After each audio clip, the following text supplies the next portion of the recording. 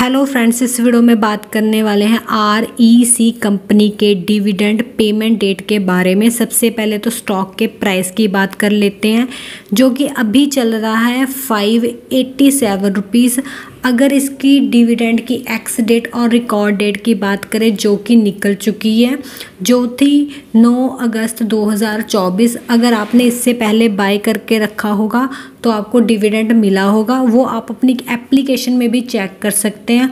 अगर आपको चेक करना नहीं आता तो आप आई बटन में एक वीडियो वहाँ से भी देख सकते हैं कि आपको डिविडेंड मिला या नहीं मिला। अगर हम इसके डिविडेंड की पेमेंट डेट की बात करें तो 23 अगस्त 2024 तक आपको इसकी जो डिविडेंड की पेमेंट है, वो मिल सकती है।